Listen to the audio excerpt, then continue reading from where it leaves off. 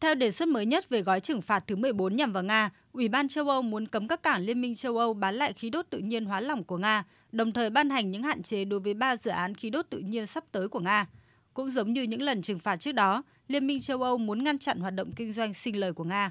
Pháp, Tây Ban Nha và Bỉ là những trung tâm lớn nhất về khí siêu lạnh, phần lớn sau đó được xuất khẩu sang các nước trong đó có Đức và Italia. Về mặt lý thuyết, việc ngăn chặn việc bán lại khí đốt tự nhiên hóa lỏng của Nga cho Liên minh châu Âu sẽ buộc Nga phải cải tổ lại mô hình kinh doanh hiện tại. Đây sẽ là một thách thức không hề nhỏ, bởi nếu không có các cảng châu Âu làm điểm dừng chân thuận tiện, Nga sẽ phải sử dụng các tàu phá băng được trang bị đặc biệt để cắt băng ở biển Bắc Cực, nơi đang thiếu nguồn cung, để đưa khí đốt đến châu Á. Một sự thay đổi có thể khiến doanh thu từ khí đốt tự nhiên hóa lỏng của Nga sụt giảm 2 tỷ euro. Đây là một số tiền rất lớn, nhưng chỉ ảnh hưởng đến khoảng 1 phần tư trong tổng số 8 tỷ euro lợi nhuận hàng năm của Nga từ khí đốt tự nhiên hóa lỏng.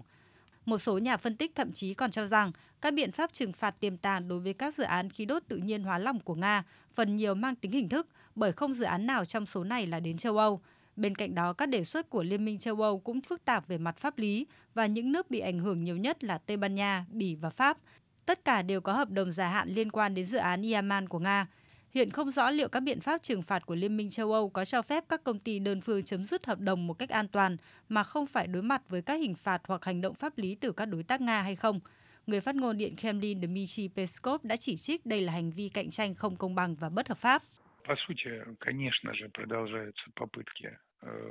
Các nỗ lực đẩy Nga ra khỏi thị trường năng lượng vẫn đang tiếp tục. Việc chuyển sang các thị trường đắt tiền hơn chủ yếu có lợi cho Mỹ và một số quốc gia khác. Đối với người tiêu dùng, đặc biệt là khu vực công nghiệp của châu Âu, điều này sẽ đồng nghĩa với việc giá khí đốt đắt hơn. Tất nhiên, trong mọi trường hợp, chúng tôi sẽ tìm cách vượt qua những trở ngại bất hợp pháp, cạnh tranh không lành mạnh và các hành động bất hợp pháp như thế này.